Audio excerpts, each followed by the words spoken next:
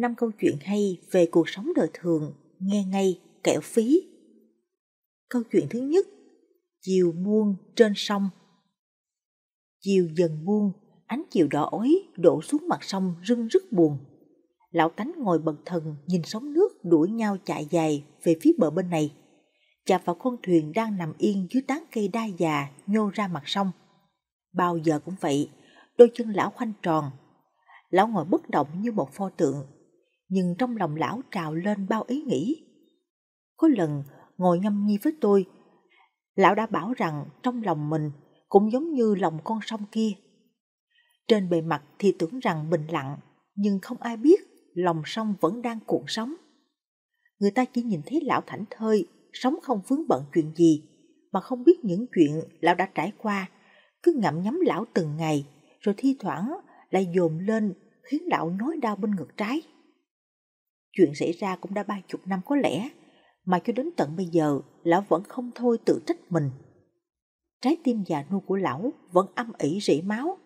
Hàng đêm bất chợt tỉnh dậy, lão lại thấy khóe mắt mình ương ướt. Lão mơ về chuyện xưa. Ấy là khi lão tánh mới ngoài 20 tuổi. Ngày đó, thanh niên tầm tuổi như tánh đều có vợ, có chồng cả rồi. Tánh vẫn chưa lấy được vợ. Vừa vì nhà nghèo, vừa vì cái cục tật ở lưng. Nói là cục, nhưng nó to như cái bắt úp, khiến cho hình dáng tánh trở nên xấu xí. Đã nghèo, còn xấu, ai mà yêu cho được. Vậy là tánh được liệt vào hàng ấy. Tánh thương thầm một người con gái trong xóm, nhưng không dám nói ra. Người ta xinh đẹp, dịu dàng. Còn mình, nhiều khi tánh oán tháng ông trời bắt mình mang cái hình dáng xấu xí như thế này, thì sao lại cho mình cái thân thể đàn ông để phải khổ sở? Cũng vì cục tật, tánh đi trên đất khó coi hơn đi dưới nước. Đi trên đất, mỗi bước đi của tánh làm nhấp nhô cục tật. Ánh mắt của mọi người cứ dán vào đó. Tánh cảm thấy lưng mình như phải bỏng. Đi dưới nước, tánh chỉ ngồi trên thuyền, cục tật nằm yên. Với lại trên sông chẳng có ai nhìn vào lưng tánh như soi mói. Vậy là 13 tuổi, tánh đã theo cha làm nghề chài lưới. Đêm ngày lên đên sông nước. Đến khi cha mất, tánh đã thạo nghề. Một mình cũng có thể ngược xuôi tính toán con nước. Tánh sống dưới nước còn nhiều hơn sống trên bờ với mẹ. Có lần về thăm nhà, mẹ tánh bảo Về đi con, sông nước hoài, nhà còn mối mình mẹ. Về làm gì? Về lấy vợ rồi làm ruộng với mẹ. Con như thế này, ai người ta thèm lấy hả mẹ? Tánh bỏ dở bữa cơm ra ngoài hiên ngồi, thở dài thường thường. Tánh cũng mong có một gia đình nhỏ. Vợ Tánh sẽ là người con gái đó. Con Tánh cũng sẽ xinh đẹp như mẹ nó. Mẹ Tánh sẽ có người vào ra thủ thỉ, chứ không phải lũ thủi như bây giờ. Nhưng nói lại nói như vậy, Tánh như thế này người ta đời nào chịu lấy. Con ra thuyền đây mẹ. Tánh chẳng chờ mẹ nói gì, rút cái khăn trên dây phơi trước hiên nhà, choàng qua cổ, thả xuống hai bên ngực, rảo bước đi. dáng tánh khom khom, đổ về phía trước như bị sức nặng của cục tật phía lưng ép xuống. Con đường ra bờ sông chìm vào bóng tối, nhưng do quen đi lại nên tánh vẫn bước phăng phăng. Gần đến chỗ đậu thuyền, bỗng tánh dừng lại khi nghe thấy tiếng khóc thúc thích. Ai? Tiếng khóc im bặt, một bóng người phục đứng dậy. Anh tánh. Mến, mến phải không? Ta sẽ em lại... Ờ, tôi... tôi... Tánh ngập ngừng. Mến chính là người con gái xinh đẹp, hiền diệu mà tánh thầm thương, nhưng chưa bao giờ dám ngỏ lời bởi mặc cảm dị tật hình hài của mình. Giờ gặp mến trong hoàn cảnh này, tánh bỗng trở nên lúng túng. Tánh vẫn đứng yên chỗ cũ, vụng về hỏi. Có chuyện gì với mến vậy? Tại sao lại ra đây ngồi khóc? Mến đưa tay lau nước mắt, quay nhìn tánh. Cô nói, anh tánh có thể đưa em đi khỏi đây không? Đi đâu thật xa. Tại sao vậy? Chú thím mến thì sao? Còn mẹ tôi nữa. Mến buồn buồn, đôi mắt chìm trong bóng tối, bảo tánh. Tháng sau, em đi lấy chồng rồi. Chú thím gả em cho người buôn chuối bên trại. Người ấy hay sang nhà chú thím mua chuối, nói thương em, nhưng mà em... Tánh không chờ mới nói hết câu, sự mặc cảm, lòng hờn ghen với người buôn chuối sắp cưới mới làm vợ đã khiến lý trí của tánh trở nên bấn loạn. Anh nhìn về dòng sông sóng sánh ánh đêm, nói một câu mà nghe lòng đắng nghẹn. Tôi chúc mến luôn hạnh phúc nha. Rồi tánh lầm lũi, đi về phía thuyền, nhổ neo, bỏ mặt mến ngồi trên bờ. Dòng nước mắt lặng lẽ lăn dài. Đôi tai tánh lúc này ù đi, không còn nghe được mến nói theo điều gì nữa. Một mình giữa dòng, tánh cho phép mình khóc mà không sợ bị ai phát hiện. Tánh lôi chai rượu trong khoang thuyền ra ngồi uống để mặc cho thuyền trôi. Thường cuối tuần, tôi sẽ ghé lại chỗ lão tánh nướng cá, uống rượu chơi, nhưng hôm nay là ngoại lệ. Buổi chiều, tôi thả lưới, trúng được con ba ba hơn 2 kg. Mang lên, bán cho quán nhậu cũng được kha khá. Tiện mua chút đồ nhắm thịt rừng về. Nay đội gió nha lão, tôi vừa áp thuyền mình vào cạnh thuyền lão, bỏ neo. Lão tánh còn đang không hiểu chuyện gì, đôi mắt nheo lại như dò hỏi. Tôi bước sang thuyền lão, giơ túi đồ nhắm lên. Này chúng ta lên rừng. Lão như hiểu ra, gật gù, quay vào trong môi thuyền, lôi ra chai rượu. Chúng tôi chỉ cần như vậy. Chai rượu, chút rau, chút đồ nhắm là có thể ngồi cà cưa đến nửa đêm. Và bao giờ cũng vậy, cứ có chút rượu vào là lão tánh lại kể chuyện ngày xưa. Kiểu như để giải tỏa bớt những dằn vặt khổ đau trong lòng lão. Từ hôm đó, tôi nhốt mình trên sông, không quay về nữa, cho đến khi mến theo chồng về bên trại. Cậu biết đấy, khi mình đau, mình đâu còn tỉnh táo, sáng suốt để mà suy nghĩ nữa. Tôi lúc đó chỉ nghĩ được đến mình vì của nợ này mà làm cho chịu đủ thứ thiệt thòi. Lão nói, đưa tay vỗ vỗ về phía sau lưng như ám chỉ của nợ, mà lão nói chính là cục tật. Đúng nửa tháng, khi nỗi đau nguôi ngoai, tôi mới về nhà. Bữa đó, chừng đâu sau ba năm, ngài mới lấy chồng, cô ấy có về thăm nhà, cũng ra sông tìm gặp tôi. Nhìn mến tiều tụy hẳn, gầy yếu, xanh xao, khuôn mặt lúc nào cũng có vẻ bơ phờ mệt mỏi. Tôi hỏi, Mến ốm à? Chắc em không sống nổi nữa. Mến đừng nói vậy. ốm đau thì đi khám, tìm cách chữa. Đời còn dài, chết đâu dễ thế. Như tôi đây này, nhiều khi đâu muốn sống để người ta thị thạo, thương hại, nhưng mà vẫn sống nhăn đấy thôi. Thực tình lúc đó, tôi đâu biết chuyện của Mến. Chỉ thấy ánh mắt cô ấy buồn buồn, thi thoảng lại thở dài thì nghĩ cô ấy buồn chuyện bệnh tật ốm đau. Với lại, người ta đã là gái có chồng, tôi ngại thân thiết. Lỡ người khác nhìn thấy, lại nghĩ này nghĩ nọ. Nên sau vài ba câu, tôi liền nhổ neo, rời ra giữa dòng. Tôi sợ mình ở lại bên mến lâu sẽ không chịu được. Cậu biết đấy, tôi vẫn còn thương mến. Vậy nhưng tôi đã sai.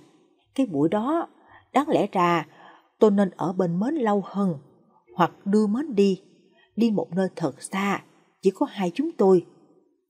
Ngài chưa lấy chồng, mến cũng nói với tôi như vậy. Tôi ngu quá, chỉ nghĩ mình không xứng với mến, mà không biết rằng mến cũng thương tôi. Khi tôi nhận ra được điều đó, thì đã quá muộn rồi. Lão Tánh đưa chén rượu lên miệng, dốc ngược xuống. Tôi có cảm giác như lão không uống mà rót rượu vào cuốn họng. Chất cay nóng đó không cay ngoài miệng mà cay tận trong lòng. Cái lưng lão cố rướn lên nhưng vẫn không thoát khỏi dáng vẻ của một người gù. Lão nhìn vào phía gốc đa, rùng mình kể. Tối hôm sau, tôi mới quay lại nhà. Vừa về đến nhà, mẹ tôi đã bảo cái mến nó chết rồi, phía bến dưới trại Tôi nghe mà lạnh toát sống lưng, vội vàng quay gót đi ngay, chẳng kịp nghe mẹ nói thêm gì nữa. Tôi xuôi thuyền về đây. Lão chỉ vào bến cạnh gốc đa. Lúc tôi đến, người ta đang lặng tìm mến. Tôi buông chèo, ngồi thẫn thờ như kẻ mất hồn. Nghe loáng thoáng có người bảo, mến ra sông giặt đồ rồi trượt chân ngã. Có người bảo không phải, mến tự tử. Ở gì mà khổ quá, chịu sao nổi. Chồng thì cọc càng khô lỗ, lại có máu ghen, động tí thượng cẳng chân hạ cẳng tay. Hai đứa con chồng thì nghe đâu nghiện ma túy, quậy rách trời rơi xuống, như thế mà ai chịu nổi. Xác mến vẫn quanh quẩn bên gốc đa mà người ta tìm hai ngày mới thấy. Rồi người ta lập một cái miếu thờ nhỏ ngay dưới đó. Lão chỉ tay lên cái miếu nhỏ ngay bên gốc đa. Lúc đó, tôi chẳng rõ là lão đang nói với tôi hay nói với linh hồn người trong miếu nữa. Lão bảo từ ngày ấy, lão qua lại đây luôn. Ngày nào cũng ghé vào thắp hương cho mến. Đến khi mẹ lão khuất núi, lão quyết định chọn luôn bến nước này làm nơi neo đậu, hương khói, trò chuyện do linh hồn mến bớt cô quạnh. Là lão bảo vậy, tôi nhìn lão, nhấp nốt chút rượu cuối cùng trong chén. Đêm đã về khuya, ánh trăng giác bạc lên mặt sông sóng sánh. Tôi thu dọn bát đũa, cúi xuống sông rửa, bỗng trượt tay, chiếc bát mất dạng dưới dòng nước đang nhẹ trôi. Lão tánh mắt nhìn chăm chăm xuống dòng nước, nói một câu nhẹ tên. Mất rồi, đâu tìm lại được. Câu chuyện thứ hai Rời bỏ Gia đình Hân không kén chọn, cũng không có ý kiến, vì anh ấy đã là lựa chọn của chị. Để tiến tới quyết định hôn nhân, chắc hai người trưởng thành cũng đã tìm hiểu nhau đủ chín mùi. Anh có tài và thành đạt, song chị của Hân cũng ưu tú, cần mẫn và thăng tiến trong sự nghiệp. Hân thấy may mắn vì được là em của chị và sống trong thời mở. Chị hiểu Hân hơn ai hết trong nhà. Chị đã dành nhiều đêm nằm thủ thỉ, giải bài với mẹ về vấn đề giới tính của đứa con trai duy nhất trong nhà. Điều đó cần bình tĩnh đón nhận để em được là chính mình và chung sống gia đình mình khuyết đi người cha đã là thiệt thòi không nhỏ. Chúng con không ai muốn cha mẹ phải khổ sầu, đau đầu về vấn đề của con cái. Hân đã lớn lên, trưởng thành và không sống sai lệch. Em ấy cần được sống đúng với lựa chọn bản ngã thì mới có thể mưu cầu hạnh phúc. Cuộc nói chuyện kết thúc đã phần nào dễ thở, đỡ nước mắt hơn hơn từng trăn trở. Cũng nhờ chị đã dẫn đường tâm lý bình an cho người thân. Hân thấy tự tin vào chính mình, thấy tin tưởng vào cuộc đời, vì ở cạnh bên mình luôn có những người thân thấu hiểu và đồng hành. Giờ không ít trường hợp người quen nhau qua các app hẹn hò. Tại văn phòng Hân đang làm việc toàn là người trẻ, họ cũng đang tuổi quẹt app. Tái mái, rủ nhau xài app, chia sẻ kinh nghiệm quẹt. Tuổi trẻ nếu thiếu đi tiếng âm báo đó, chắc cũng thiếu đi sự thú vị. Người ta nói, nhỏ nếu khôn khéo sẽ biết cách cài đặt khu vực, âm báo đến lọc độ tuổi giới tính. Đã xài thì phải rành, lỡ đâu gặp tai nạn khi dùng áp thì phiền đấy. Chuyện chẳng liên quan, cho đến hôm đó, trong bữa tối đoàn viên, ai đã quên tắt chuông điện thoại, thanh âm từ một ứng dụng cộng đồng vang lên. Từ đó, Hân ám ảnh về thứ âm báo kia. Hân cũng rối lắm khi lờ mờ phát hiện ra bí mật khiến Hân hoài nghi về những phẩm chất của một người. Xong, từ bí mật sẽ đổi ra bí mật. Anh rể Hân vốn có tính quản giao thân thiện, hiện đang là nhân viên đỉnh của chớp tại phòng đối ngoại. Anh hay đi công tác nhưng nhận được nhiều đãi ngộ tốt lành. Đời sống vật chất dư giả tinh thần phấn chấn. Có những lần, cha mẹ đặt vấn đề khá tinh tế, ngỏ ý muốn biết chừng nào họ được nâng niu hoa trái tốt lành từ cuộc hôn nhân của anh chị. Xong, anh luôn có những ý tứ đối đáp hợp tình. Kiểu, anh biết nghĩ cho chị, cho anh, và nhất là cho đứa bé tương lai cần những điều cần và đủ. Nên cả hai vẫn đang cần chuẩn bị. Người tử tế như anh thiệt dễ khiến người đối diện an tâm. Anh giải thích về quyết định ở rễ. Vì sao nhiều năm sống chung với cha mẹ ruột, giờ dọn về chung sống chứ một mái nhà mới cũng là trải nghiệm gắn kết. Được cái, anh vốn hiền lành, lịch thiệp, kiểu như đàn bà con gái. Ấy là mấy bà hàng xóm đã trót bình luận như thế về anh con rể của má. Mỗi cuối tuần, họ thấy anh ôm về những bó hoa tươi, anh sẽ trưng bày khắp nhà. Nghe cũng kỳ, nhưng miệng lưỡi người ngoài mà. Đã mấy năm qua, anh đã coi phía nhà vợ như tổ ấm để trở về. Nhưng tới nước sắp vỡ lẽ thế này, Hân đành lòng sẽ phải làm rõ. Vắt não nghĩ chiêu trò và dặn mình phải hết sức bình tĩnh để ra tay xử lý các tình huống có thể phát sinh bất ngờ để người ta không kịp trở tay hay đôi chối. Tối thứ sáu thảnh thời, người ta hay tranh thủ chát chít, thả thính với nhau để tiến tới cuộc hẹn hò vào cuối tuần. Này, Hân thì tắt chuông điện thoại vì có lý do. Về nhà, thấy anh rể đang ngồi tại phòng khách. Hân ra điệu bộ cuốn cuồng, lục túi áo, túi quần, túi sách. Anh hỏi, chuyện gì thế Hân? Thôi xong rồi, hình như em để quên iPhone ở đâu đó thì phải. Em lo quá. Anh à, anh cho em mượn điện thoại gọi thử xem sao. Đây em. Đây em mượn chút. Hân vội bấm số, nghe hồi chuông dài. Hân cố tình gọi liên tiếp ba cuộc, mỗi hồi chuông 45 giây. Xong, cùng lúc, tin nhắn liên tiếp được gửi đến từ một tài khoản. Trí nhớ của Hân kịp chụp lại thông tin hình ảnh. Hân trả lại điện thoại. Cảm ơn anh. Chắc em để quên ở nhà bạn thôi, giờ em quay lại đó liền. Nói rồi Hân đi. Ngoài hành lang, Hân thở phào có phần hả hê vì Hân đã phát hiện ra một manh mối quan trọng. Hân liên hệ với một người bạn khá nổi trong giới ở thành phố này. Đặt kèo, hẹn cà phê gần nhất. Lời đề nghị thật thà và thẳng thắn từ Hân được chấp nhận. Cậu ta đồng ý cho Hân lướt coi danh sách bạn bè trên mạng xã hội chỉ để nhận dạng một chiếc hình đại diện. Có vẻ giống như mò kim đáy mạng xã hội. Theo suy đoán, kẻ xài app hẹn hò hay có xu hướng sẽ chọn một hình ảnh ưng ý nhất để dăng lên các mặt trận mạng xã hội.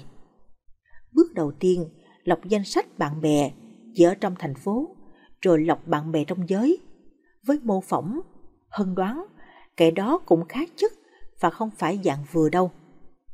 Công cuộc kiếm tìm không đơn giản, vì phải phân tích nguồn dữ liệu nhân ảnh tương đối lớn. Cuối cùng cũng tìm ra, vì người dùng trong cũng nổi lắm. Ghé thăm trang cá nhân lại nhặt nhạnh thêm nhiều minh chứng chắc nịch. Những tấm hình chụp dấu mặt, nắm tay tình tứ, nhìn màu áo thì không thể lầm. Đó là người hân biết. Nực cười nhất với tấm hình chụp selfie nôm rất hấp dẫn, được check-in tại phòng gym ít với nội dung gợi đòn. Chăm chỉ tập gym để người ta cho sáng mắt chưa? Hóa ra thành phố cũng tròn lắm và như có mắt. Không ngờ bạn bè trong giới trợ giúp nhiệt tình góp phần giải mã manh mối mấu chốt của phi vụ do tìm nhân vật có ý định sắm vai người thứ ba. Hưng nhớ lại đợt này anh rể hay than thở, công ty tăng cường đối ngoại, tiệc tùng liên miên, hoặc tăng làm, anh muốn chạy đến phòng gym tập tành cho khỏe người, không thì sổ mất. Có những hôm anh xin phép sẽ về trễ và luôn có chủ lý do hợp lý. Này, ngồi sâu chỗ chúng lại, chỉ Hân mới hiểu thấu màn kịch đang diễn ra thường nhật. Hân mua vé tới phòng tập gym X, có phiêu nhìn ra hồ bơi. Tính toán kỹ càng, Hân mặc đồ bơi, đội mũ và đeo kính bơi như bao người, nên rất khó nhận dạng người quen. Hân bơi ba vòng hồ, mới thấy hai nhân vật mong đợi xuất hiện. Loáng thoáng, thấy họ hăng sai tập luyện cùng nhau, chắc đang vui. Cho đến khi dừng lại, họ cùng tiến vào phía trong, tưởng như mất dấu. Hân rời bể bơi ngay lập tức, tiến thẳng tới khu phòng tắm, tinh tế quan sát, thấy một căn phòng tắm, lại bốn chân ở phía trong. Hân đợi chờ ở bên ngoài. Phải mất cả tiếng đồng hồ, chưa bao giờ Hân thấy tiếng đồng hồ trôi qua gây nhiều tức giận như vậy.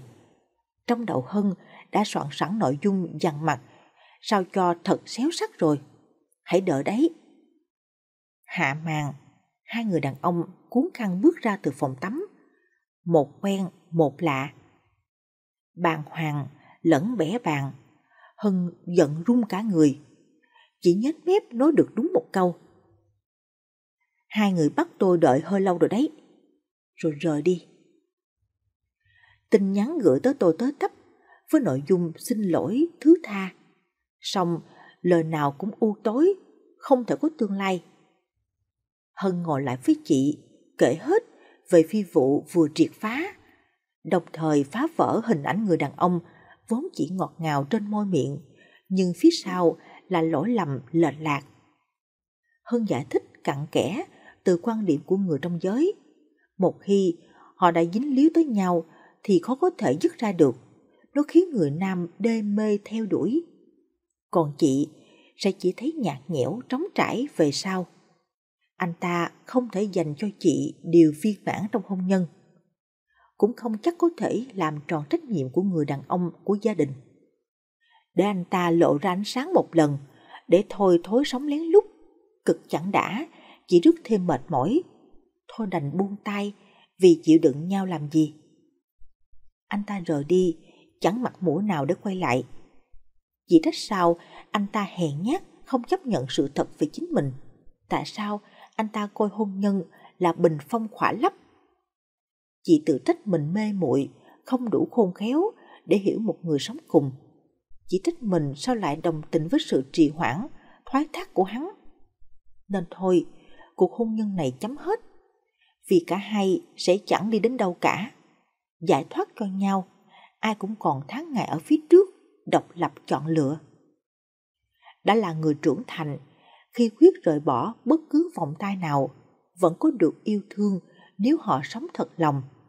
Và giới tính nào, một khi yêu cũng cần phải trân trọng nhau. Câu chuyện thứ ba Tình chờ Hải vuốt nhẹ mái tóc, lại nhấp chén rượu rồi chìm vào cơn say như thường lệ. Ngày nào Hải cũng say rồi nhớ về mối tình đau khổ của Hải. Hải yêu Huệ đến thiết tha trái bỏng. Mối tình đơn phương có thể đang độ đơm hoa kết trái, thì lại rơi vào cảnh tréo ngoe. Hải thức tình lần nữa. Ngày hai người chuẩn bị làm đám cưới, Huệ phải sang mãi tỉnh bên để mời họ hàng ở xa về dự. Người nhà quê rất trân trọng việc cưới hỏi được mời mọc đàng hoàng. Thành ra, Huệ phải cất công đón xe khách đi mấy tiếng đồng hồ. Cô đi cùng chuyến xe với Huy. Huệ trúng tiếng xét ái tình với Huy, rồi bỏ cả gia đình, trầu cao cưới hỏi, mà đi theo người ấy. Hải ngờ ngác không hiểu chuyện gì đang xảy ra với mình. Rõ ràng, một ngày trước đó, Huệ và anh vẫn còn ríu rít nói về chuyện tương lai. Hải yêu Huệ từ ngày hai người còn học chung trường cấp 3. Huệ có mái tóc dài thước tha đen nhánh. Mỗi khi Huệ cười, hai má lúm đồng tiền sâu hấp ẩn hiện. Một người con gái đẹp dịu dàng hẳn rất dễ làm cho các chàng trai uống phải cơn say, trong đó có Hải.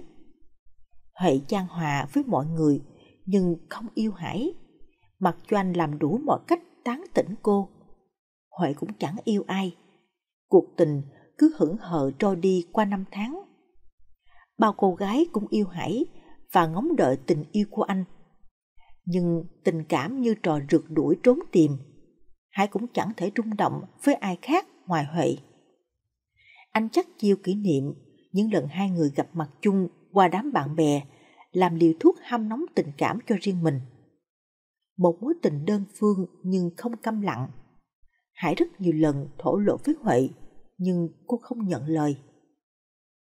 Thời gian trôi qua, bạn bè cùng trăng lứa cũng đều lấy chồng, lấy vợ những mảnh ghép có khoảng trống tự biết tìm đến nhau.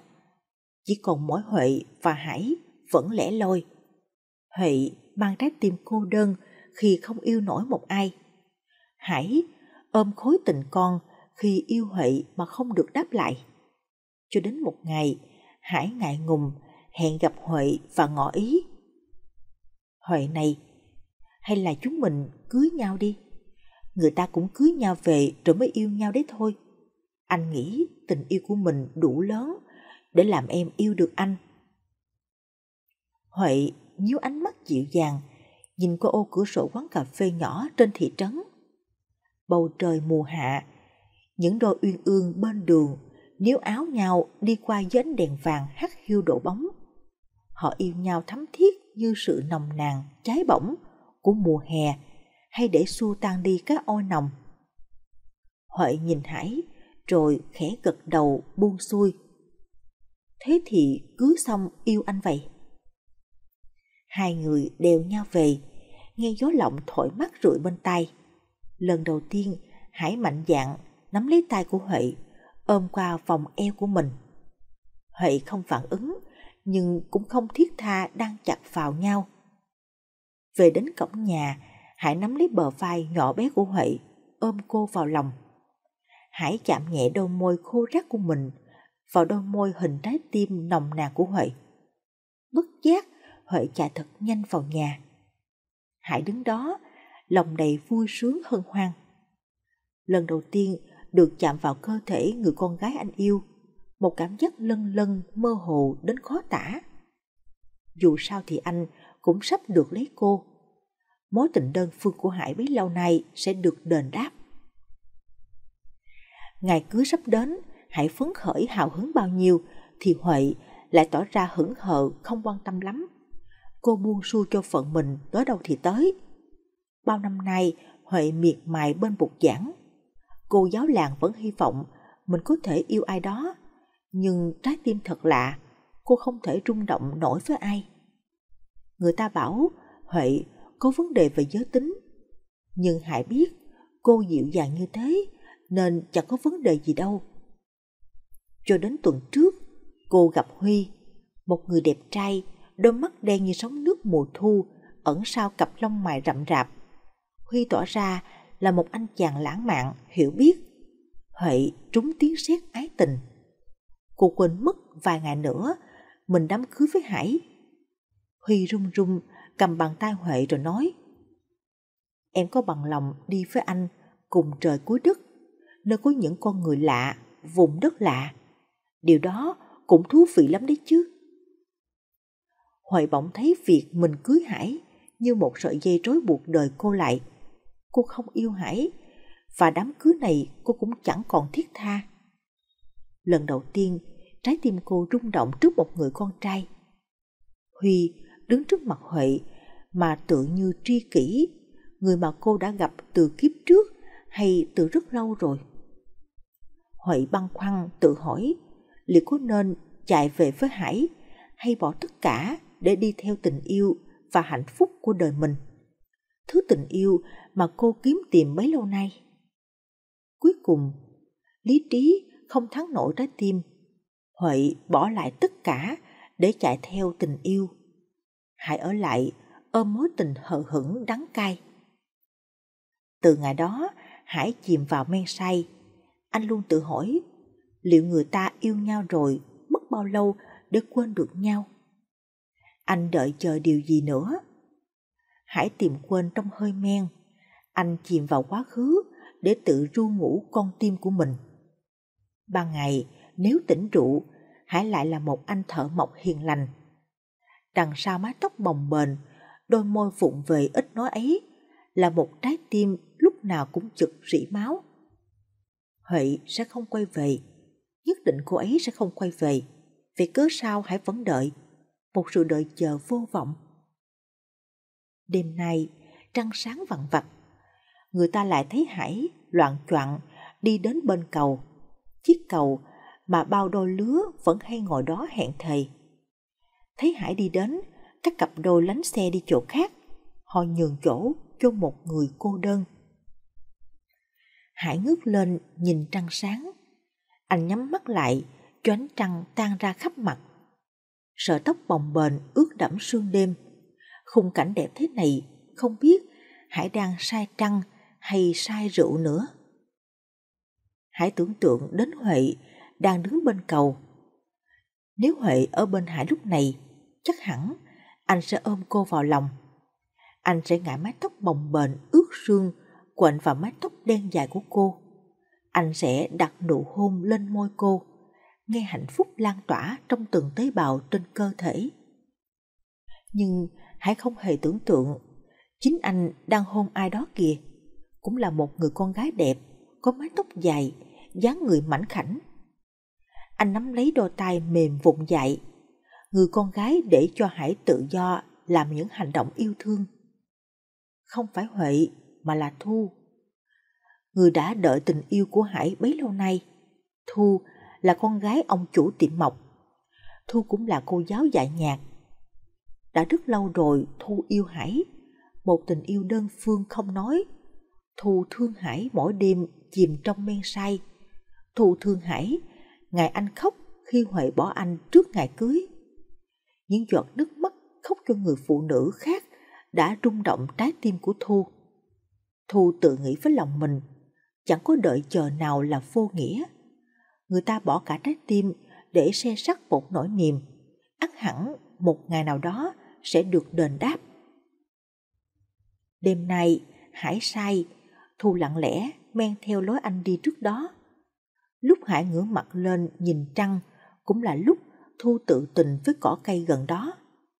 Trong cơn men say chánh choáng, Hải ôm Thu mà ngỡ là Huệ vào lòng.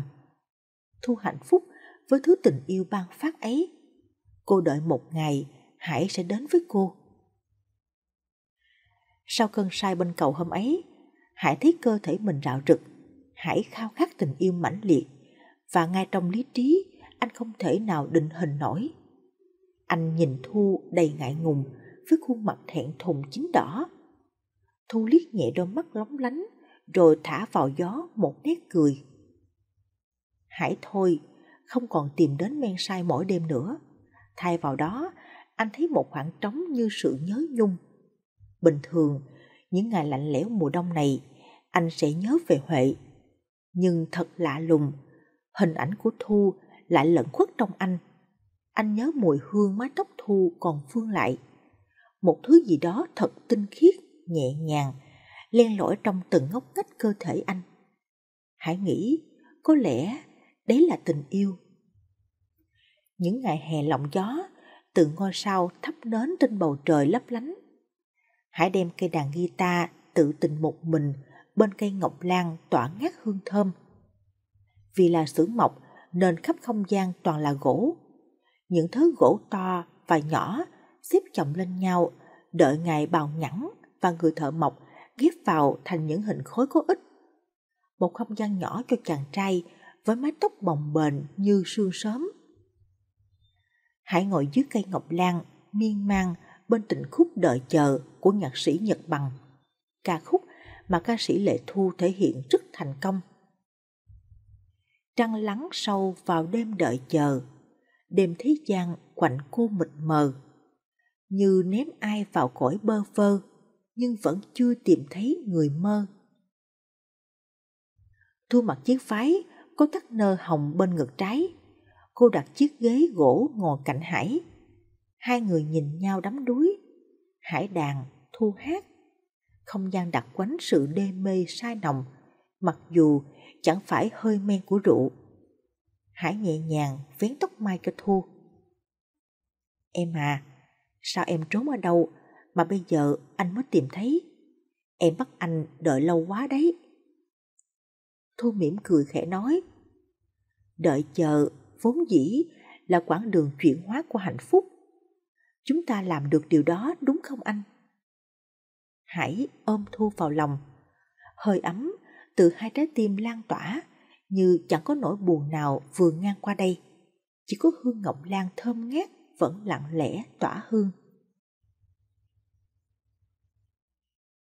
Câu chuyện thứ tư Ông khách lạ một ông khách tới ngại giá qua đêm. Ông đội nón che gần nửa khuôn mặt. Mang kính trắng, khó đoán tuổi, và lại đêm đã xuống, mọi thứ nhìn không còn rõ ràng. Kinh nghiệm trong nghề dạy tôi không có một khách làng chơi nào đàng hoàng cả, nên tôi luôn ở thế cảnh giác. Và dĩ nhiên phải bị ra một câu chuyện lâm ly về mình khi khách có hỏi. Ông khách này cũng hỏi, nhưng tôi im lặng. Trong đầu nghĩ, ông bỏ tiền mua thì thỏa mãn ngay đi rồi biến. Đừng có hỏi lung tung, mệt lắm. Cô không muốn kể cũng không sao, bây giờ mình nằm bên nhau và ngủ nha. Hả? Ông khách này có bộ kỳ nha. Dạ, tùy anh. Tôi đáp. Đó, thấy chưa? Tôi biết là cô sẽ nói chuyện mà. Trong giọng ông khách có niềm vui. Tôi không còn hồi hộp. Mỗi khi tiếp khách là tôi hồi hộp. Nhưng lần này lại khác. Cơn hồi hộp tự dưng biến mất. Tôi nằm, nhắm mắt, chờ cơn vồ vập của khách. Thân xác này còn có nghĩa lý gì? Chờ hoài, chờ hoài, rồi ngủ quên. Gần sáng, tôi giật mình tỉnh ngủ. Ông khách không còn bên cạnh. Nghĩ là ông đi vệ sinh nên tôi nằm chờ. Hơn 10 phút vẫn không thấy động tĩnh gì. Tôi nhõm dậy. Lần này mới tin chắc là ông khách đã bỏ đi. Tôi ngơ ngác, suốt đêm qua ông khách đã không làm gì. Lần đầu tiên tôi gặp một ông khách như vậy. Hay là tôi nằm mơ? Tôi lần tìm ví, tiền ông khách đưa hôm qua còn đây. Lạ, chuyện ông khách đêm qua cứ ám ảnh tâm trí tôi suốt ngày hôm đó. Một tuần sau, ông khách lại tới. Khi đã nằm bên nhau, ông khách nói Lần trước bận việc nên tôi về sớm, thấy cô ngủ say nên không đánh thức. Dạ, em xin lỗi, hôm đó em mệt quá. Tôi định hỏi, xong kỳ vậy? Nhưng lại thôi. Như hiểu được ý của tôi, ông khách cười. Cô thấy tôi kỳ kỳ phải không? Tôi không kỳ đâu, tôi là vậy đó. Trời ơi, người vậy mà không kỳ. Tôi nghĩ thầm. Anh bỏ tiền ra để ngủ với em mà sao không... Thì tôi đã ngủ với cô, cô không đồng ý sao? Ông khách cười. Không phải, ý của em là... Tôi hiểu ý cô, nhưng thay vì... Tôi thích trò chuyện với cô, được không? Dạ, chỉ là trò chuyện thôi sao? Đúng rồi, nếu cô thấy thích, còn không cũng không sao, cô đừng quá bận tâm. Dạ, em, em, em không biết trò chuyện, em... Tôi nói thật lòng, tôi không biết trò chuyện. Kể chuyện phải thích mới kể được, nếu thấy chưa thì thôi, nằm ngủ vậy. Ông khách nói. Chúng tôi tắt đèn, phòng yên lặng, tiếng cành lá khô ngoài cửa sổ. Trời hôm nay gió nhiều, ảnh hưởng một cơn áp thấp. Tôi cảm thấy khó ngủ. Bên tôi ông khách thở đều đều. Có lẽ đêm nay cũng không có gì. Cơn hồi hộp không về. Tôi cảm thấy bình yên như ngày xưa trong nhà mình. Đã lâu lắm rồi, tôi mới có cảm giác này. Chợt ứa ra. Tôi nhớ mẹ, nhớ em tí của tôi vô cùng. Năm 14 tuổi, tôi mất trinh. Tôi bị một lão dơi sờm đáng tuổi cha tôi dụ dỗ Tôi thường qua nhà học cùng với con gái của lão. Thỉnh thoảng gặp bữa, bạn rủ tôi ở lại ăn cơm. Lui tới nhiều lần nên tôi như con cháu trong nhà. Một sáng, tôi qua nhà nhưng không có bạn. Lão nói con ở lại ăn chè đậu đen nước đường, ngon lắm. Lão đưa tôi một ly đầy. Ăn xong, đầu tôi cứ ngầy ngật. Lão mở video cho coi, phim toàn cảnh hôn hít Tôi sợ quá, định chạy về, nhưng hai chân nặng trịch, không bước đi nổi. Thế rồi, lão đè tôi xuống nền nhà. Tôi vùng vẫy, khóc hết nước mắt. Lão mặc lại áo quần cho tôi. Lão hết dỗ, tới dọa, sẽ giết nếu như nói cho ai biết. Buổi sáng đó cứ ám ảnh tôi. Nằm ngủ, tôi gặp toàn ác mộng. Cuối năm đó, tôi quyết định bỏ học. Tôi nói với mẹ là theo bạn lên thành phố kiếm việc làm. Tôi không có cha. Cha bỏ đi khi tôi còn nhỏ. Nhà chỉ có mẹ, tôi và con tí em tôi 11 tuổi. Mẹ tôi không nói gì, đôi mắt rầu rầu. Tôi nắm hai vai con tí. Tí, ở nhà ngoan với mẹ nghe, chị lên thành phố kiếm tiền, mua đồ đẹp cho tí. Tí không thèm đồ đẹp, tí thích có chị. Thôi mà, chị đi kiếm tiền cho tí, cho mẹ. Mẹ rất cần tiền, tí biết không? Chị hứa với tí là sẽ về sớm. Còn tí rớm rớm nước mắt. Chị hứa với tí đi, chị ráng về sớm ngang. Tôi lên thành phố, vừa chân ướt chân ráo, bước xuống xe, thì có ông xe ôm xà lại. Em về đâu? Lên xe anh chở. Tìm việc làm à? Anh giới thiệu cho, nhiều việc làm lắm, hoàn toàn miễn phí. Tôi nhìn hắn dò hỏi, thấy vậy hắn cười. Yên tâm đi, không ai lừa em đâu. Có chỗ này đang cần người phụ quán ăn, cơm ngày ba bữa, lương trăm ngàn một ngày. Hắn chở tôi đi vòng vèo một hồi, rồi dừng trước một ngôi nhà to. Bên ngoài treo tấm bảng, khách sạn mây ngàn. Hắn dẫn tôi vào một căn phòng kín mít. Nó đứng đó rồi biến mất. Tôi chờ khá lâu nhưng không thấy hắn trở lại. Nhìn quanh, trong ánh sáng mờ mờ, tôi thấy trên tường treo nhiều hình con gái ăn mặc hở hang. Một nỗi sợ lăn nhanh khắp người tôi. Đèn phòng chợt sáng. Một phụ nữ đến, nói đi theo bà. Tôi được dẫn đến một căn hầm vì nó nằm dưới mặt đất, thiếu ánh sáng. Trong phòng có mấy cô gái trạc tuổi tôi. Tôi được cho ăn cơm và ngủ một giấc dài mê mệt. Sáng hôm sau, tôi được dắt lên gặp người quản lý nhà hàng. Đó là một người phụ nữ mập mạp, lùng, bự phấn. Người ta gọi là má hai, má mì. Bà nói công việc của tôi là tiếp khách đến ăn uống, lương mỗi ngày 100 ngàn, tháng trả một lần. Tiền khách bo nếu có, phải nộp về cho quản lý. Cuối tháng, tùy theo ít hay nhiều mà được thưởng thêm. Tôi không biết uống bia, tôi không biết tiếp khách, tôi còn nhỏ. Tôi không quen biết thế giới xa lạ này. Thế giới tôi không hình dung ra trong trí óc non nớt của tôi. Tôi từ chối và xin ra khỏi đây. Chưa nói hết câu thì bà má mì nạt ngang. Muốn rời khỏi thì phải trả tiền chuột 2 triệu đây. Tiền chuột nào? Con đâu có mượn. Bà cười gằn. Tiền chuột cho thằng xe ôm dắt mối đó, hiểu chưa cưng? Nghe vậy tôi òa khóc. Má mì đổi giọng. Con tạm làm một thời gian, rồi má sẽ cho về bộ phận bếp. Tôi đòi chuyển ngay. Mụ đập bàn. Muốn đi, phải trả 2 triệu tiền cò dẫn mối. 2 triệu ăn ở mấy ngày nay. Cặp mắt mụ long lên làm tôi sợ. Tôi nín re, không dám đòi đi nữa, chỉ biết khóc thầm đêm đêm. Một tháng sau, má mì gọi tôi lại nói phải tiếp khách. Tôi sợ, khóc nức nở. Sao bù lu bù loa vậy? Bộ cái thứ dám bỏ nhà đi như mày mà còn trinh sao? Mụ nhốt và bỏ đói tôi. Tôi thà chết đói chứ không bao giờ tiếp khách. Tôi căm thù bà, căm thù suốt đời.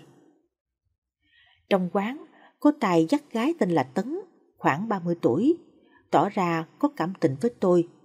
Hắn rủ tôi trốn theo hắn. Tôi gật đầu ngay. Một tối, thừa lúc má mì ra ngoài, hắn mở cửa phòng đưa tôi trốn đi. Hắn chở tôi bằng xe máy tới một nhà trọ tồi tàn, nằm sâu trong con hẻm nhỏ, miệt gò vấp. Tôi không có ai quen ở thành phố, nên phải ở chung với hắn như vợ chồng. Lúc này tôi mới biết là hắn nghiện ma túy. Lúc lên cơn, hắn có thể giết người. Tôi buôn bán đầu tắt mặt tối cũng không đủ cho hắn thỏa cơn nghiện. Hắn bắt đầu dở thối phủ phu. Hắn đánh đập tôi và đau đớn hơn, hắn bắt tôi đi làm gái để mà nuôi hắn. Tôi bỏ trốn nhiều lần nhưng không thoát. Bởi ngoài Tấn còn bọn đàn em tai mắt của hắn. Tiền kiếm được trong ngày bị hắn lột sạch. Tôi cố giấu trong mọi ngóc ngách cơ thể của mình, hắn cũng tìm ra. Mà không tìm ra hay tìm ra ít, có chút nghi ngờ là hắn nắm tóc tôi đập vào tường bình bịch. Đêm đêm tôi khóc, tôi nhớ mẹ, nhớ em tí. Tôi hứa sẽ sớm về với tí, sẽ cho tí nhiều tiền. Mà đã 5 năm chưa lần nào về, tôi không dám về vì còn mặt mũ nào mà nhìn mẹ, nhìn em. Tôi mở mắt, ông khách đã đi lúc nào, tiền khách trả còn nằm trong ví. Tôi hé cửa sổ nhìn xuống đường, trong lòng tôi chợt đầy lên một cảm xúc khó tả. Hay là tôi mong người khách trở lại? Hơn một tháng rồi, ông khách không lại. Tại sao lại trông chờ một người khách làng chơi kia chứ? Tôi đâu còn là một cô gái mới lớn. Dẫu biết vậy, nhưng mà sao lòng tôi vẫn thất thởm hàng đêm. Và rồi, một đêm kia, ông khách đã đến. Tôi có một chút gì như luống cuốn. Nằm bên tôi, ông khách nói. Anh về quê có chút việc, mới lên hôm nay. Ông khách đổi cách xưng hô. hẹn gì mà lâu như vậy? Tôi cười bối rối. À, sẵn dịp, anh có ghé nhà thăm mẹ và em tí. Hả? Trời ơi, thật sao? Tôi kêu lên. Có lá thư em tí viết cho chị nè. Em tí giờ lớn bổn lắm. Tôi ngồi dậy, đón lá thư từ tay ông khách. Đúng là chữ của tí rồi. Tí viết. Thương nhớ chị hai lắm. Tưởng chị hai đi biệt tâm. Mẹ và tí buồn lắm. Hôm qua, anh hai tìm đến nhà. Mẹ và tí mừng hết lớn luôn. Anh hai nói chị vẫn mạnh khỏe. Do bận công việc nên chưa về thăm mẹ được. Hứa là cuối năm sẽ về. Nghe vậy, mẹ vui lắm. Tí cũng vui nữa. Mà chị làm gì có nhiều tiền cho mẹ và tí vậy? Mẹ cầm tiền của chị mà mẹ khóc đó. Tôi bật khóc, nước mắt cứ trào ra, không thể đọc tiếp lá thư được. Ông khách đến ngồi cạnh tôi. Lao mắt đi em, Nguyệt. Tôi nhận chiếc khăn từ tay ông khách. Nguyệt à, từ khi anh nghe em kể về cuộc đời em, anh muốn đưa em ra khỏi nơi này. Em hãy đi cùng anh nhé. Em sợ tên Tấn biết sẽ giết chết em mất. Đừng sợ, đã có anh. Anh đã có nhà. Hãy về ở với anh.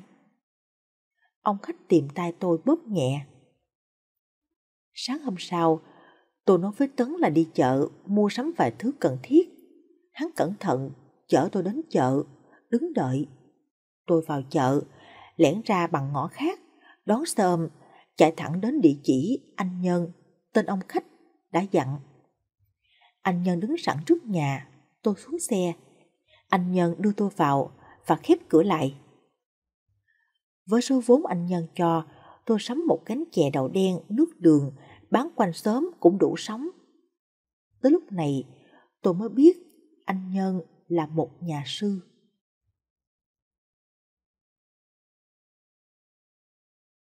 Câu chuyện thứ năm Hương Sa Bay Minh theo đoàn tàu đổ ở ga Bắc Ninh vào lúc trời vừa sầm sập tối. Khoác ba lô trên vai, những cô lái buôn lại thoăn thoắt xếp từng khối hàng vuông vức chất lên rồi chất xuống. Họ bận rộn như chính cái hối hả của cuộc sống này không cho họ nghỉ ngơi. Vết nám da hằn lên đôi má lắm tấm mồ hôi của họ, hằn lên cả sự ghê gớm trong lời nói liên hồi ganh đua. Sân ga trở nên chật chội bởi những âm thanh hỗn tạp. Mình nhìn sang bên phải, phía đằng Tây mặt trời sắp lặn rồi. Vài quán nước ở gần sân ga vẫn lặng lẽ. Phía trước người vào người ra. Chuyến về quê lần này, Minh chủ yếu thăm cậu Vinh rồi nghiên cứu xem vườn hoa hồng của cậu có thể chiết xuất thứ mùi hương như loại nước hoa bên Pháp không?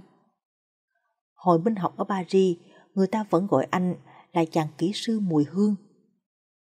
Một cô gái tên Thương đang đặt chiếc vali đứng ở hàng nước. Minh nhìn cô gái ấy. Đôi môi cô tô son vụng về, chân đi dài cao gót, thứ dài vải dành cho người khiêu phủ đã cũ mềm. Nhưng nổi bật hơn cả là nét xinh xắn trẻ trung của Thương. Phải nói như thế nào về nét đẹp ấy trong cảm nhận của mình lúc này? Chiếc mũi cao và ánh mắt đăm chiêu như cô gái Pháp, thứ mà anh sai lòng ở đó nhưng chẳng thể nào mang về. Như mùi hương ướp trọn trong chiếc lọ theo về Việt Nam. Mái tóc thương màu hạt dẻ, thả dài ngang lưng. Thỉnh thoảng mấy sợi tóc bay bay lên trán cô, lên làn môi và đôi má ửng hồng. Mái tóc màu hạt dẻ cứ ve vãn khuôn mặt thương như thế khiến cho mình không thể kìm lòng mà tiến đến gần cô. Xin lỗi, nếu không phiền, tôi có thể xách chiếc vali này giúp em cho đỡ nặng nhé. Thương hơi bất ngờ với đề nghị lịch lãm của chàng trai trước mặt. Cô nhoẻn miệng cười đồng ý. Hai người lững thững bước ra ga khi trời vừa sụp bóng tối. Mình nhìn vào Thương, tranh thủ cất lời hỏi cô. Em về đâu bây giờ? Dạ, em về làng đặng, cách sân ga này chừng 20 cây số. Mắt mình chợt sáng lên. Vậy chúng ta đi cùng đường rồi. Em đi cùng taxi với tôi nhé. Đường từ thành phố về quê buổi tối thật là đẹp. Những ánh đèn cao áp thư dần rồi khuất hẳn theo con đường trải nhựa. Qua thị trấn rồi qua cánh đồng quê, bỏ lại phố thị tấp nập đằng sau. Phía trước chỉ hung hút gió và những chiếc xe băng qua thưa thớt. Thường nhìn lên trời, ngắm những vì sao mới mọc. Những ánh sao lấp lánh trên bầu trời, nhưng không đủ sáng cho khoảng tối phía con đường trên mặt đất. Mình lén nhìn Thương khi cô đưa ánh mắt lãng đảng qua ô cửa kính. Lúc này trông cô đẹp quá. Một chút ánh sáng vừa đủ ở đâu đó hắt vào, khiến Thương trở nên xinh đẹp cuốn hút đôi hàng mi cong của cô cứ uốn lên thách thức cái lén nhìn trộm của mình. Bất giác, mình không thể kiềm chế được trước vẻ đẹp đó. Anh đặt tay mình lên bàn tay mềm mại của Thương. Thấy tay mình ấm nóng nên Thương ngoảnh lại. Cô không rụt tay ra khỏi bàn tay Minh mà cứ để yên ở trong đó. Cả hai cứ lặng im, không ai nói với ai câu nào. Bàn tay đang nhau ở giữa hai người đều suy tư, nhìn ra cửa kính ô tô. Trên con đường phủ dần bóng tối và chiếc xe tiến về phía làng đặng. Sắp tới nhà em rồi này, nhà em ở cuối ngõ kia. Thương nói với Minh nhẹ nhàng, rồi lại nở nụ cười. Lúc này cô mới rút bàn tay của mình ra khỏi tay anh. Em tên là gì? Ngày mai anh qua nhà em nhé. Thương gật đầu nhẹ nhẹ, lấy trong ví ra một tấm danh thiếp nho nhỏ, có tên và số điện thoại của mình đưa cho Minh. Cô mở cửa xe, ngoái nhìn lại anh. Giây phút ấy, Thương cảm giác như Minh trở nên thân thuộc lắm, thân thuộc như tri kỷ, như quen biết nhau từ tiền kiếp nào đó mà cô không thể định hình nổi. Minh cũng thế. Từ lúc Thương mở cửa bước ra, anh bỗng thấy lòng trống trải mênh mang đến lạ. Mình cảm giác thương thật gần mà cũng thật xa. Mình nhìn theo thương, cô đặt bàn tay lên đôi môi, gửi tới anh một nụ hôn gió và quay đầu chạy vào ngõ thật nhanh. Khuất sau bóng tối dày đặc cùng tán cây trứng cá sẫm màu gần cột điện. Minh trở về nhà cậu Vinh, tắm rửa xong, anh lên giường nằm nghỉ. Cả một ngày với chuyến đi dài, nhưng đêm nay anh thao thức không sao ngủ được. Hình ảnh về thương với vẻ đẹp tranh tối tranh sáng cứ làm cho anh sao động mãi. Minh đã ngoài 30 tuổi, nếu nói về những cô gái từng đi qua đời anh thì nhiều lắm. Nhưng thật sự chưa một ai Minh gặp mà lại xuống sang trái tim như lần gặp chống vánh này với thương. Là tiếng sét ái tình đây chăng? Minh băn khoăn chợt nghĩ và ngắm nghía phần trăng đêm chưa kịp lặn. Buổi sáng hôm sau, bình minh mùa thu thật đẹp. Khi mặt trời ló dạng, chiếu tia sáng vàng ống ả xuống cánh đồng hoa nhà cậu Phinh. Những bông hồng ngậm giọt sương đêm còn e ấp chưa muốn nở. Mình hái vài bông đẹp nhất, tản bộ qua con đường đất ngoằn ngoèo tới nhà của Thương. Thương ơi! Tiếng gọi của mình vang lên từ đầu ngõ. Nghe giọng nói trầm ấm ấy, Thương vội vã chạy ra. Mình đưa bó hồng tươi thắm trước mặt cô gái xinh xắn. Tặng em này, sáng nay anh thấy bàn tay mình lưu dấu một mùi thơm. Anh cứ nghĩ đó là mùi thơm của hoa hồng. Nhưng từ lúc tản bộ đi tới đây, anh mới nhớ ra không phải là mùi thơm từ hoa hồng, mà là từ bàn tay em. Tại sao anh lại nói vậy? Vì hôm qua, anh đã nắm bàn tay ấy. Thường nheo mắt cười, cô dụi dụi bông hồng vào ngực Minh mà thổn thức. Nụ cười của tình yêu tràn ngập hạnh phúc long lanh từ đáy mắt. Buổi sáng mùa thu nơi làng quê, mọi thứ thật thanh khiết và nhẹ nhàng như muốn tan chảy. Anh sẽ đợi vườn hoa hồng này chín đỏ mùi thơm. Anh sẽ chưng cất nó thành thứ mùi hương tuyệt hảo, như mùi hương làm ngây ngất lòng người ở chốn Ba Riêu hoa lệ. Một nhà máy nhỏ sản xuất nước hoa quanh và bố đã được đặt trên thành phố. Anh có hai tháng ở quê để làm thí nghiệm, nghiên cứu mùi hương cho những bông hồng này. Thương đi bên mình dưới phường hồng ngát thơm chan nắng. Nghe anh thuyết giảng về những thứ mùi hương, Minh nói về những câu chuyện xa hoa nơi Paris nước Pháp mà anh từng được sống và học ở đó 5 năm. Sự kiêu hãnh và sang trọng thể hiện trên khuôn mặt Minh, thể hiện trong từng lời nói và trong cả thứ nước hoa anh dùng đang lưu giấu trong cơ thể anh. Em đã quá chán sự xô bồ của phố thị, em muốn về quê, làm gì cũng được, nhưng sẽ không lên thành phố nữa. Thương cũng từng có ý định học xong và ở lại thành phố làm việc. Rồi ba năm trôi qua, thời gian chưa đủ dài nhưng đủ để Thương nhận ra thành phố không thuộc về cô. Thương cảm thấy chán ngắt nơi phồn hoa đô hội ấy. Ngoài khuôn mặt lạnh tanh trong công sở, mọi người luôn giữ ý với nhau. Thương thấy đâu đâu cũng sặc mùi toan tính. Thế nên cô nhất định về quê. Thương rất thích văn học, cô sẽ viết những điều mình yêu thích. Sẽ cùng mẹ ra đồng, cùng bố trò chuyện mỗi tối, nghe tiếng dế trong vườn thủ thỉ mỗi đêm. Đó chẳng phải hạnh phúc sao? Mình nghe những điều thương nói, dù cũng thích làng quê, nhưng thành phố đối với anh cuốn hút nhiều hơn. Mình cảm thấy mình thực sự có cảm tình với thương mất rồi. Anh nắm tay cô, bàn tay thơm hôm qua còn lưu dấu. Hai người đứng giữa phường hoa hồng, cứ thế mà hôn mà say. Thứ men tình ngất ngay trong buổi sáng mùa thu hôm ấy. Đôi tình nhân trẻ như bức tranh in vào tầm mắt của nữ thần tình yêu đến mênh mang dịu dàng. Những ngày sau và cả nhiều ngày sau nữa, trên con đường đất từ nhà cậu Vinh tới nhà thương, Minh thường men theo lối cỏ mà đi đến mòn vẹt dấu dài. Anh vẫn thường hái một vài bông hoa hồng đẹp nhất khu vườn để tặng cô. Thường lại dụi dụi cánh hoa hồng vào ngực Minh. Hai người lại cùng nhau đến vườn hồng. Minh hái đầy một giỏ hoa đang nở vào độ viên mãn nhất. Lúc này cũng là lúc hương thơm của hoa hồng bung tỏa nhiều hơn. Minh đặt giỏ hoa hồng vào phòng làm việc của mình, đặt phòng thí nghiệm nhỏ với những ống thủy tinh khử trùng sạch sẽ. Cả một giỏ hoa hồng đầy ắp sau đó chỉ còn lại vài giọt tinh chất đặc sến. Đựng trong chiếc ống thủy tinh nhỏ bằng ngón tay. Minh có vẻ hạnh phúc với thứ mùi hương anh pha chế.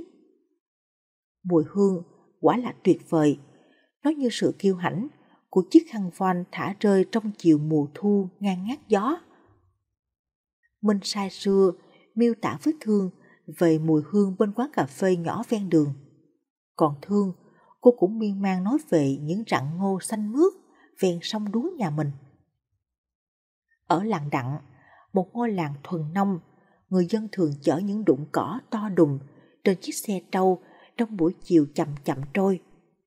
Trên bãi đồi phù sa quanh năm tươi tốt là nơi tuổi thơ của Thương ngụp lặng ở đây. Cô yêu quê hương nhiều lắm, một tình yêu trọn vẹn, đã yêu rồi chẳng muốn rời xa. Người ta cho Thương là bảo thủ cũng được, nhưng hạnh phúc lại do chính mình lựa chọn. Minh và Thương yêu nhau đắm đuối, nhưng quan điểm về thành phố và vùng quê của mỗi người là hoàn toàn trái ngược với nhau. Mình kiêu hãnh với mùi hương và phố thị, Thương dịu dàng với những chiều hè hoàng hôn rụng xuống chân đê. Đến ngày Minh phải rời khỏi nhà cậu Vinh, dự án của anh còn rất dài. Mình nắm chặt bàn tay Thương khẽ nói Thương, nếu em đi cùng với anh về thành phố, anh sẽ xin phép bố mẹ cưới em. Em sẽ không về thành phố theo anh đâu, nơi ấy không thuộc về em. Vậy còn việc chúng ta yêu nhau thì sao? Em không biết. Thật ra, Thương luôn hiểu rằng thân phận của cô và Minh khác xa nhau. Nhà Minh giàu có nước tiếng Hà Thành. Chuyện tình của anh thì dài như thế kỷ. Một cô gái nào đó sẽ hợp với Minh hơn. Minh vuốt vài sợi tóc mai còn phương trên gò má của Thương và ân cần. Em cứ suy nghĩ về lời đề nghị của anh. Anh phải về lại thành phố, thu xếp công việc. Hãy đợi anh. Buổi chiều mùa thu không có nắng. Cơn mưa giống như mùa hạ cũ ở đâu ghé sang văng mành trắng xóa những giọt rơi. Thương đứng dưới gốc cây trứng cá cạnh cột điện. Mái tóc hạt dẻ của cô ướt đẫm. Mình ôm trọn thương vào lòng. Hai thứ mùi hương từ làng quê Thanh Bình phản phất cùng mùi hương sang trọng nơi phú thị đang quyện vào nhau. Mình đi khuất ngõ, nơi thương đứng cùng cơn mưa vẫn còn lưu lại đâu đây chút hương thơm.